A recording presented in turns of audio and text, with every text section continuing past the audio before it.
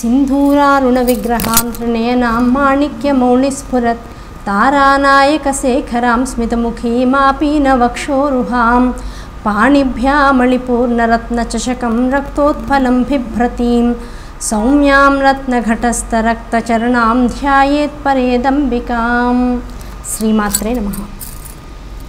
అమ్మవారి మధ్యకూటమికి సంబంధించినటువంటి నామాలు వసిన్యాది వాగ్దేవతలు ఎంత విశేషమైనటువంటి స్థాయిలో మనకు అందించారో ఆ వాక్వైభవాన్ని ఆ నామాల వెనకాల ఉన్నటువంటి రహస్యాన్ని తెలుసుకుంటూ ముందుకు సాగుతున్నాం.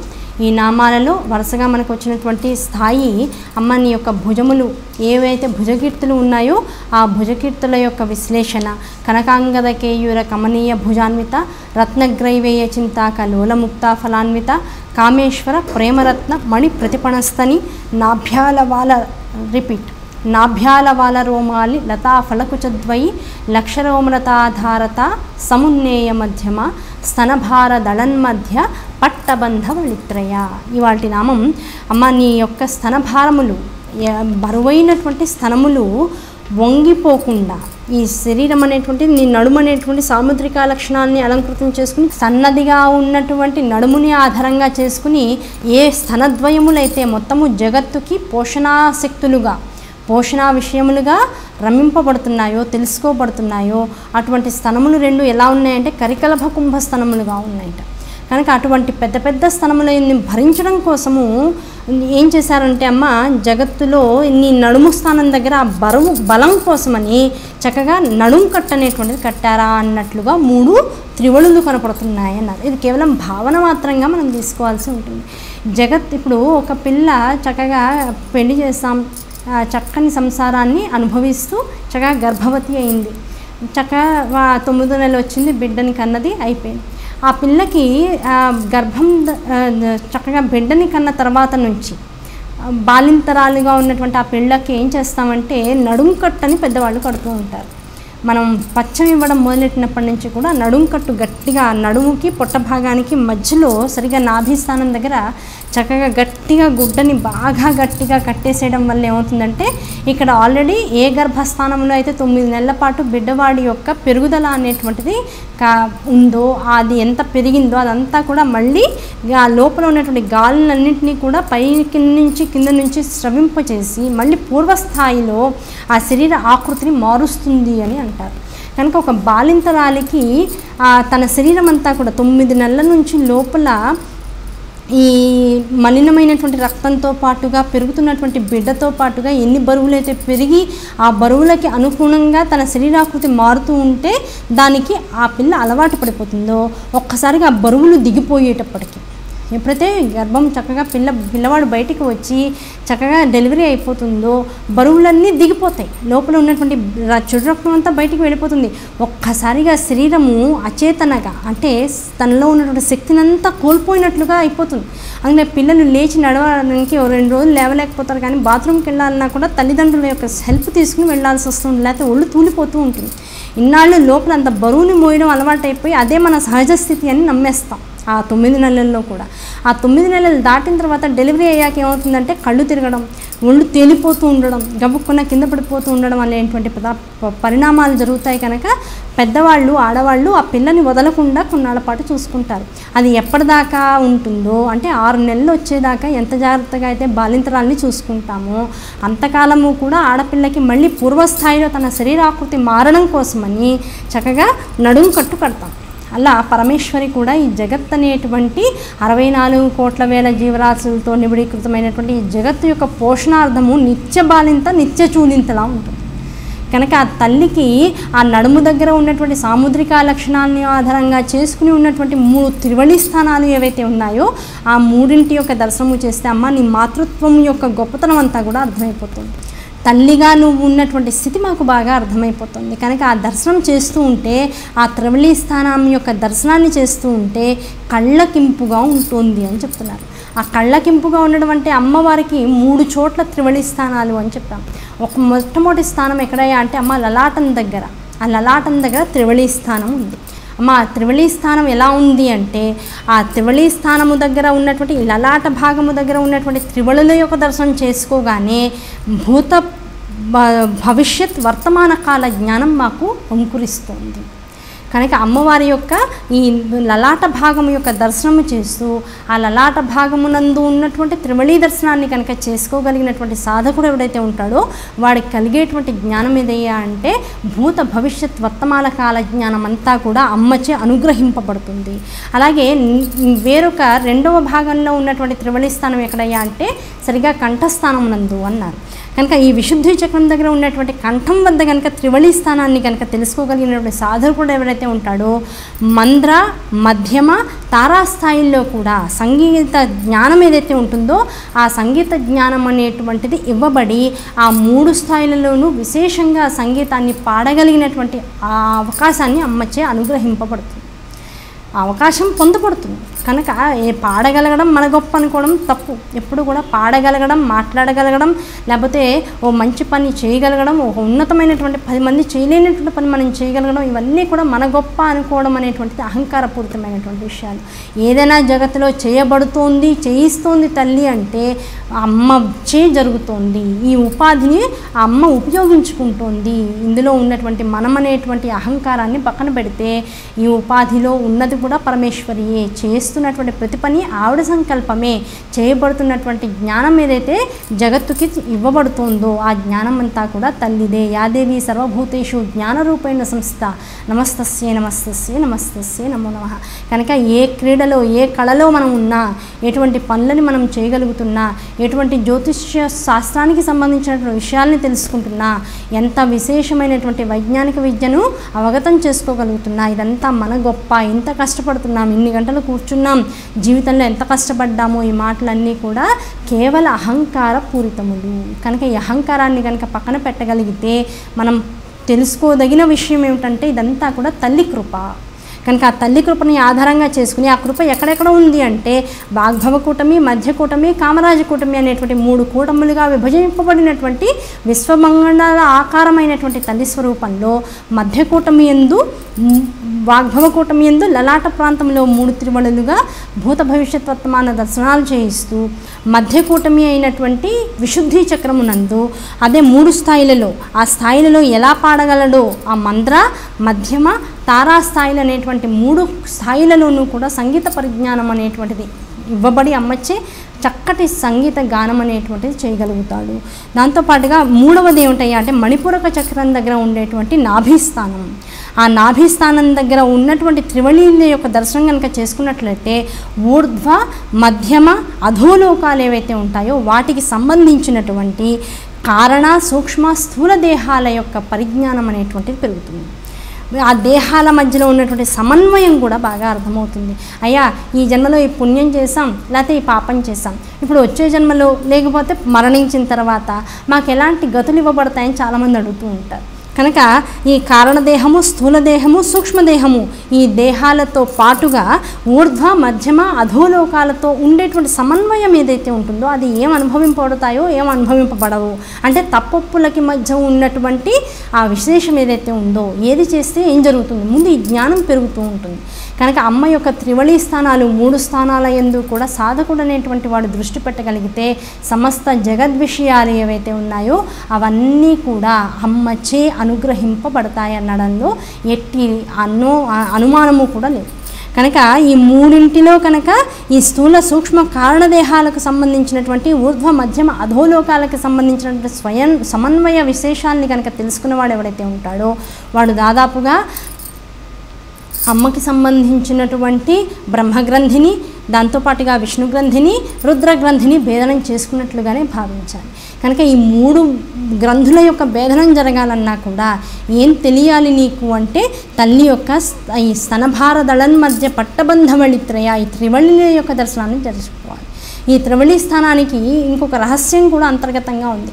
పంచదశి మహామంత్ర మంత్ర మహామంత్రం ఎవరైతే గురూపదేశం ద్వారా స్వీకరించారో వారికి బాగా తెలుస్తుంది ఏ అక్షరముకు ఆ అక్షరముగా విభజింపబడి మూడు కూటములుగా ఉంటుంది. మూడు కూటములుగా ఎలా ఉంటుంది అని తెలుసుకోవాలి అంటే ప్రతి కూటమికి మధ్య భాగమున హ్రీం అనేటువంటి అక్షరంతో ఆ నామం ఆ కూటమి అనేటువంటిది తెలుస్తూ ఉంటుంది. మూడుసార్లు హ్రీం అనేటువంటి హర ఈం అనేటువంటి మూడు అక్షరాలతో సమీకరింపబడినటువంటి హ్రీం బీజాకార శక్తి పంచదశి మహామంత్రంలో మూడు సార్లుగా వస్తుంది.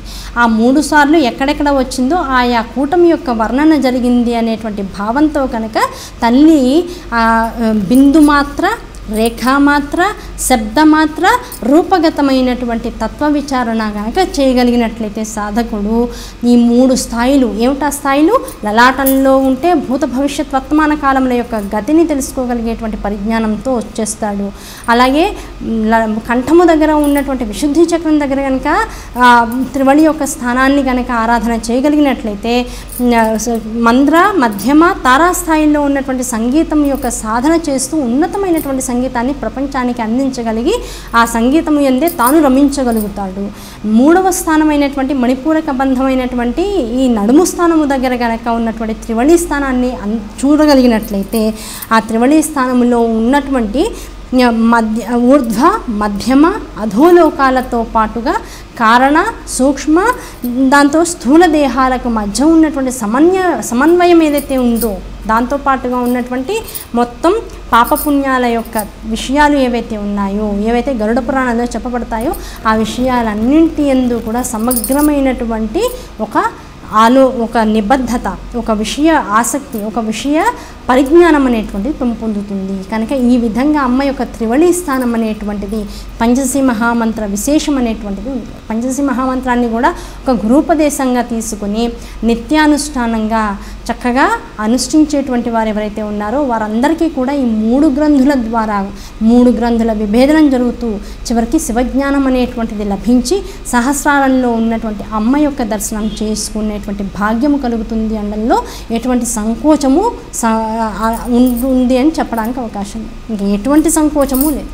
నీ తప్పనిసరిగా ఇది జరిగి తీరుతుంది. నీకు కావాల్సిందల్లా నీలో ఉన్నటువంటి అన్ని అన్ని ప్రశ్నలకు సమాధానాలు దొరకాలి. అవి ఎక్కడ దొరుకుతాయి? హారా ఈమ్ అనేటువంటి బీజాక్షర క్రోడీకృతమైనటువంటి నామం హ్రీమ్ అనేటువంటి బీజం ఎక్కడెక్కడైతే నీకు కనపడుతోందో అమ్మ యొక్క శరీరాంతర్గతంగా కనపడినా లేదు పంచదశి మహామంత్ర బీజాక్షర సంహితగా దొరికినా నువ్వు చూడగలిగేటంత స్థాయిలో నీ జ్ఞానాన్ని నీవు వృద్ధి చేసుకోగలిగితే తల్లి పాదాల మీద త్రికరణ శుద్ధిగా నమస్కరించి వాలగలిగితే తల్లి ఆ జ్ఞానాన్ని నీకు ఇస్తుంది. అలా గనక నువ్వు పట్టుకోగలిగితే తల్లి యొక్క వాగ్భవ మధ్యకూట కామరాజకూట దర్శనము జరుగుతూ దాంతోపాటుగా మనకి కనపడనటువంటి మూడు స్థాయిలలో తల్లి యొక్క విశేషతత్వాన్ని తెలుసుకోగలుగుతాం పొందగలుగుతాం. ఈ నామాన్ని కనుక గట్టిగా నిత్యము కనుక ఈ భావంతో ఎవరైతే ప్రయత్నం చేస్తూ ఉంటారో స్త్రీకి సంబంధించినటువంటి త్రివళి స్థానాలను బట్టి అంటే నడుము స్థానాలు మణిపూరకం దగ్గర ఉన్నటువంటి నడుముని చూస్తూ ఇదివరకు రోజుల్లో గమనించండి చాలా పూర్వకాలంలో ఈ సాముద్రిక లక్షణాలని చూడడం కోసం అనేసి పెళ్ళి చూపులు అనేటువంటి ఒక తతంగాన్ని చేస్తూ ఉండేవారు. ఆ పెళ్ళి చూపుల్లో ఇంట్లో పెద్దవాళ్ళైనటువంటి ఆడవాళ్ళందరూ వచ్చి ఆడపిల్లని ఒకసారి ఇక్కడి నుంచి అక్కడికి నడువు అక్కడి నుంచి ఇక్కడికి నడువు అని ఇలా అడుగుతూ ఏదో చిన్న చిన్న కబుర్లు ఆడుతూ పిల్లని బాగా గమనించేవాళ్ళు. కారణం ఏంటంటే నడుము సన్నగా ఉందనుకుందాం. అక్కడ త్రివళి స్థానం లేదనుకుందాం. సాముద్రిక లక్షణాన్ని కనుక ఆధారంగా చేసుకున్నటువంటి శాస్త్రాన్ని మనం పరికించినట్లయితే నడుము సన్నగానే ఉండి త్రివళి మాత్రం లేదు అంటే గర్భధారణకి ఇబ్బంది అవుతుంది. గర్భ సంబంధితమైనటువంటి అంటే వంశం యొక్క ఉద్ధరణ చేసుకునేటువంటి సమయంలో ఏ గర్భధారణ అయితే సరైనటువంటి సమయానికి చక్కగా రావాలో అది రాక పిల్లలు కాస్త ఇబ్బంది పడతారు అని చెప్తారు.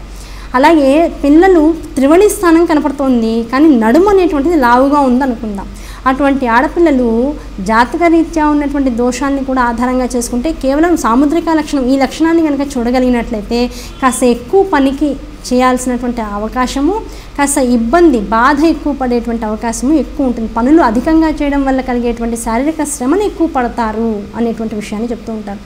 అలా ఇప్పుడు అమ్మకి వివరించినట్లుగా నడుము సన్నగా ఉండి చక్క త్రివళి స్థానం కూడా ఉందనుకుంటే వారు చక్కటి గృహిణులుగా ఎటువంటి ఇబ్బంది లేకుండా చక్కగా భర్తతో ఆనందాన్ని పొందుతూ కుటుంబానికి అదే ఆనందాన్ని పంచుతూ ఏ వంశ ఉద్ధరణ అయితే జరగాలో ఆ వంశ ఉద్ధరణ సమయంలో ఎటువంటి ఇబ్బందుల్ని వాళ్ళు పొందకుండా చక్కటి పిల్లల్ని కనడానికి ఆ పిల్లల యొక్క వృద్ధి కోసం మళ్ళీ తాపత్రయపడేటువంటి కావ పడడానికి కావలసినటువంటి సర్వమైన చైతన్యము కూడా వాళ్ళకి చక్కగా ఉంటుంది లోపల. అది బై డిఫాల్ట్ అటువంటి వాళ్ళలో ఎక్కువగా ఉంటుంది అని చెప్పడం కోసం ఈ సాముద్రిక లక్షణాలను చెప్తూ ఉంటారు.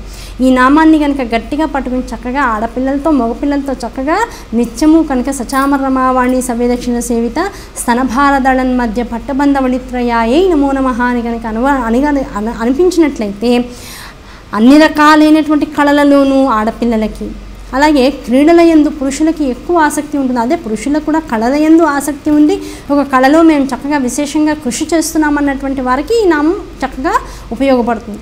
దాంతోపాటుగా క్రీడల యందు ఏ పురుషులైతే ఉంటారో మనస్సు నగ్నం చేసి దానిలో విజయాన్ని సాధించాలని ఉంటారో అటువంటి పురుషులకి కళల యందు ఉన్నటువంటి స్త్రీలకి దాంతోపాటుగా గృహస్థాశ్రమ ధర్మంలోకి వెళ్ళాక వీరిద్దరికీ వంశ ఉద్ధరణకి కావాల్సినటువంటి ఆ పుష్టి ఏదైతే ఉందో శరీరంలో కావలసినటువంటి శక్తి ఏదైతే ఉందో అది సమగ్రంగా తల్లిచే ఇవ్వబడి పరిపుష్టమైనటువంటి గృహస్థాశ్రమ ధర్మంలో ఎటువంటి వైక్లభ్యాలు రాకుండా వాళ్ళ జీవితాలు చక్కగా నడుస్తాయి అనడంలో ఎటువంటి డౌట్ ఇంకా లేదని చెప్పడానికి నమ్మకంతో ఎటువంటి డౌట్ లేదని చెప్పడానికి ఇంకా అసలు వేరే ఇంకో మీకు తార్కాణాలు నిర్వచనాలు ఇవ్వడానికి ఒక గ్రంథాన్ని నేను రాయక్కర్లేదు పది మంది ఇంటర్వ్యూలు తీసుకోక్కర్లేదు.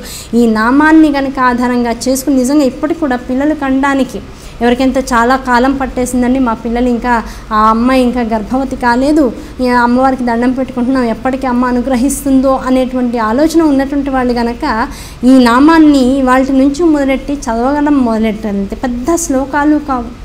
పెద్ద సమయాన్ని తీసుకునేటువంటి సమయపాలనని ఇబ్బంది పెట్టేటువంటి విషయాలు కావు. కేవలంగా సచామర రమావాణి సవ్యదక్షిణ సేవిత అనేటువంటి నామాన్నితో అనుసంధానం చేస్తూ స్తనభార దళం మధ్య పట్టబంధవళిత్రయ అనేటువంటి నామాన్ని గనక నమ నమః అనేటువంటి దాన్ని యాడ్ చేస్తూ ఒక మంత్రం కింద మార్చుకోగలిగితే అంటే సచామర రమావాణి సవ్యదక్షిణ సేవిత స్తనభార దళం మధ్య పట్టబంధవళిత్రయాయై నమో నమః అనేటువంటి నామంతో కనుక నిత్యము మనం ఏ పని చేసుకుంటున్నా సరే ఒక ఒక్కరోజు కష్టంగా ఉంటుంది ఒక పేపర్ మీద రాసుకుని చదువుకోగలిగినట్లయితే రెండో రోజుకి నామం బాగా పట్టుపట్టేస్తుంది. ఇంకా ఏ పని చేసుకుంటున్నా ఇరవై నాలుగు గంటలు ఈ నామాన్ని కనుక లోపల అనుసంధానం చేసుకుంటూ మన ఇరవై నాలుగు గంటల జీవితాన్ని గడుపు కొన్ని రోజులు అట్లా చేసుకోగలిగినట్లయితే పురుషుల్లో ఉన్నటువంటి ఇబ్బందులు స్త్రీలలో ఉన్నటువంటి ఇబ్బందులు రెండూ కూడా తొలగిపోయి ఎందుకంటే మనకేం కావాలో మనకన్నా ఎక్కువ తల్లికి తెలుసు. కనుక ఆ ఇబ్బందులన్నింటినీ కూడా తన నామం అనేటువంటి ఒక రత్నాన్ని పొందినటువంటి వాడు గ్రైవేయము గుండా ఏది- ఏదైతే సాధన చేస్తాడో గ్రీవము ద్వారా ఆ గ్రీవము ఎందు తాను గ్రైవేయే నిలుస్తూ సాధనా ఫల ఫలముగా మొత్తం వాళ్ళు ఉన్నటువంటి కోరికలు ఏవైతే ఉన్నాయో ఒక్కొక్కళ్ళకి ఒక్కొక్క కోరిక ఉంటూ ఉంటుంది. లౌకికమైన విషయాసక్తి ఉన్నవాడు సామాన్యుడు.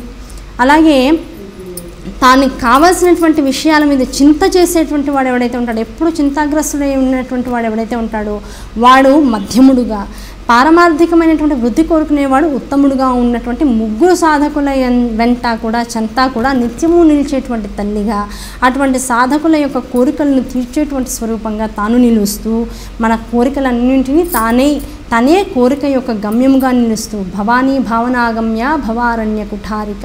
చివరికి ఏమేం చేస్తుందంటే మన భావనగా తాను నిలుస్తూ మన గమ్యముగా తాను ఉంటూ చివరికి భవారణ్యం అనేటువంటి అడవినంతా కూడా కుఠారికయ్యి తానే తొలగిస్తూ చివరికి ఏ కోరికలు లేనంత స్థాయికి మనిషిని తీసుకువెళ్ళి ఆ పరిపక్వతను పొందినటువంటి ఈ ఈ జన్మ ద్వారా తనని పొందగలిగేటువంటి పరమఫలాన్ని ప్రసాదంగా అందిస్తుంది ఆ పరమేశ్వరి.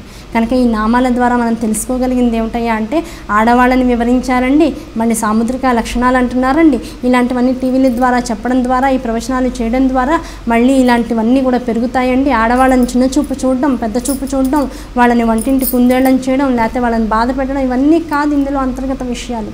ఆడపిల్లలు చిన్నప్పటి నుంచి ఎటువంటి పనులు ఆడపిల్లలకు నేర్పిస్తే వాళ్ళ శరీర సౌష్ఠవం చక్కగా ఉంటుంది. ఎటువంటి పనులు చేయడం ద్వారా వాళ్ళు చక్కటి ఆకృతితో ఉంటారో. ఆ ఆకృతి ద్వారా వాళ్ళు ఎంత ఆనందాన్ని పొందుతారో? ఆ ఆకృతియే వాళ్ళకి సాముద్రిక లక్షణంగా ఎలా పరిణమిస్తుందో? ఆ పరిణమించినటువంటి ఆకృతిచ్చే వాళ్ళు ఎంత గృహస్థాశ్రమ ధర్మంలో ఏ ఇబ్బందులు లేకుండా గడపగలుగుతారు. ఇవన్నీ కూడా ఆడవాళ్ళ సుఖం కోసం మంచి కోసం చెప్పారు. దాంతోపాటుగా మగవాడి ఉద్ధరణ కోసం చెప్పారు. మగవాళ్ళ ఉద్ధరణ ఆడదాని సుఖం. ఈ రెండింటిని కోరుకునేదే వైదిక సాంప్రదాయం. అందున ఉన్నతమైనటువంటి లలితా శాస్త్రం. ఇందులో చెప్పబడినటువంటి ప్రతి అంశము కూడా మనము గనక నిదా దిశానిర్దేశము చేసుకుని గనక దాని వెంబడి నడవగలిగితే మన జీవితాలు విశేష ఫలదాయకములుగా ఉంటాయి. అది నువ్వు అనుభవించగలిగితే ఇప్పుడు ఆకలిస్తుంది. ప్రతి వాళ్ళు అడుగుతారు ఏమండి మీరు ఇన్ని విషయాలు చెప్తున్నారండి? ఇవన్నీ నిజమే అంటారా? తప్పకుండా జరుగుతాయా? అంటారు. అసలు ఆకలేస్తోంది అని అంటున్నావు. ఆకలేస్తోంది అంటే ఏం చేయాలి? తినాలి. తింటే ఆకలి తీరుతుందా అంటే నువ్వు తింటే తెలుస్తుంది నీకు ఆకలి తీరుతుందో తీరదో. కనుక నామాన్ని నువ్వు పట్టుకోవాలి. పట్టుకుంటే తెలుస్తుంది నీకు లోపల ఉన్నటువంటి ఆ ఇబ్బంది ఏదైతే ఉందో అది తొలగుతుందో లేదో. నువ్వు ఏది వాడకుండా ఏది నోట్లో పెట్టుకోకుండా ఏది కంఠముతో ఉచ్చరించకుండా నీ సమయాన్ని అసలు అమ్మకి కేటాయించకుండా అసలు నువ్వు అపాయింట్మెంటే ఇవ్వకుండా ఇంత అహంకారంతో నువ్వు ఉంటే నీలో ఉన్నటువంటి కోరికను తెలుసుకుని ఇన్ని అవకాశాలుగా ఒక మంత్రరూపులుగా రూపాలుగా ఇంత లలితా సహస్రనామాన్ని ఇచ్చినటువంటి తల్లే మళ్ళీ చెప్పిస్తూ కూడా ఇంతమందితో నువ్వు ఇంకా పాటించినంత దురస్థితిలో దురవ దురవస్థలో నువ్వు ఉంటే కూడా మళ్ళీ కాదనుకుని నీ ఉన్నతి కోసం తాపత్రయపడుతుంటే కూడా ఇంకా నీకు డౌట్లు వస్తున్నాయి అంటే ఇంకా నీకు ఉద్ధరణ అనేటువంటిది లేనట్లే లెక్క. కనుక అసలు నువ్వు ఆకలేస్తోంది శుభ్రంగా కంచంలో అన్నం పెట్టుకో. ఏం అక్కర్లా కూరలు అక్కర్లా పప్పులు అక్కర్లా సాంబార్లు అక్కర్లా ఏమీ అక్కర్లా ప్రశాంతంగా ఆకలి సమయంలో ఇంత పచ్చడి వేసుకుని తిని ఊరుకున్నా కడుపు నిండుతుంది. నీకు ఆకలికి ఫైనల్ విషయం ఏమిటాయి అంటే కడుపు నిండాలి. కడుపు నిండడం కోసం ఏదైనా తినచ్చు. నీకు ఆకలి లేకపోతేనే రుచి కావాలి. కనుక రుచి కోసం కావాలి అంటే నీకు పది రకాలు ఉన్నా కూడా నీకు తృప్తి అనేటువంటిది ఉండదు. ఆకలి ఉన్నప్పుడు మాత్రం ఆకలి తీరడం కోసం కావాల్సింది పచ్చడి మెతుకులైనా చాలు. కనుక నువ్వు ఆకలి వేస్తుంది వాళ్ళ నీ జీవితం కష్టంగా ఉంది. కొన్ని కొన్ని ఇబ్బందులు నీ జీవితంలో ఉన్నాయి. ఆ ఇబ్బందులు తొలగాలి అంటే నువ్వు చేయవలసింది మంత్రాన్ని పట్టుకోవడమే. అది నీకు ఎంత లబ్ధిని చేకూరుస్తుంది అనేది ముందే ఆలోచించుకుని ఆ ఆలోచించిన దాన్ని బట్టి నేను ప్రవర్తిస్తాను అంటే మాత్రం నీకు ఎటువంటి లబ్ధి ఉండదు. కనుక దీన్ని బట్టి పట్టుకోగలిగిన విషయాలని పట్టుకోవలసినటువంటి తీరులో తెలుసుకోదగినటువంటి విషయాలని తెలుసుకోదగినటువంటి రీతిలో తెలుసుకుంటూ పోతూ ఉంటే జీవితంలో ఉన్నటువంటి అనేక రకాల విషయాల నుంచి ఇబ్బందుల నుంచి విముక్తి అనేటువంటిది కలగడం ద్వారా కోరికలు అనేటువంటివి సుసంపన్నమవడం ద్వారా మరల కోరికలు జనించకుండా తల్లి చేయడం ద్వారా ఈ జీవితము మామూలైనటువంటి గృహస్థాశ్రమ ధర్మాన్ని అనుభవిస్తూనే మోక్ష సాధన వైపుకు తిరుగుతూ ముక్తికి దగ్గరగా తపస్సు చేస్తూ ఉంటుంది. కనుక జీవితాన్ని ఎటువైపు తీసుకువెళ్ళాలి? ఏ గమ్యం గుండా తీసుకువెళ్ళాలి? ఏ దారి గుండా ఏ గమ్యం చేరుకోగలము అనేటువంటి బేరీజులు మనం వేసుకోకర్లా నువ్వు కళ్ళు మూసుకునైనా పట్టుకోవాల్సింది అమ్మ చేతిని అమ్మ పాదాలని. అమ్మ పాదాలని పట్టుకునేటువంటి రీతిగా క్రమంగా నువ్వు ఈ నామాల్ని కనుక ఆధారంగా చేసుకుని కళ్ళు మూసుకుని అమ్మని భావిస్తూ ఈ ఏ రూపాన్ని అయితే మనం అవగతం చేసుకుంటూ ఈ నామాల్ని చదువుతున్నామో ఆ అమ్మ నామాల్ని తీక్షణంగా మనసులో భావిస్తూ కనుక విశేషమైనటువంటి కృషి నువ్వు చేయగలిగితే అమ్మ కాల కాలాతీత కాలస్వరూపిణి. ఆ కాలస్వరూపిణి అనేటువంటి స్వరూపానికి నువ్వు ఇవ్వగలిగింది కాలమే. కనుక తల్లి నామాన్ని అర్థ ఆధారంగా చేసుకుని కాలంతో అభిమంత్రించి కనుక నువ్వు ఒక ధ్యానం తపస్సుగా కనుక చేయగలిగితే నీ జీవితము సర్వ ఫలములతో ఫలదాయినిగా నిలుస్తుంది. ఆ ఫలం ఏమిటయ్యా అంటే ముందు లౌకికమైనటువంటి వాంఛా వాంఛాపేక్ష నుంచి లౌకికమైనటువంటి కోరికలన్నింటినీ తీర్చగలిగేటువంటి స్థాయి ముందు వస్తుంది. అవి అనుభవించేటువంటి స్థాయి నీకు ఇవ్వబడుతుంది. అవన్నీ తీరిన తర్వాత మోక్షం అనేటువంటి ఫలం కూడా ఇవ్వబడుతుంది. ఆ మోక్షం అనేటువంటి ఫలాన్ని స్వీకరించే సమయంలో జ్ఞానము పరిపక్వతను పొంది ఆ మోక్షాన్ని కూడా వద్దనుకునేటువంటి పారమార్థిక ఉన్నతి కూడా నీకు అమ్మచ్చే ఇవ్వబడుతుంది.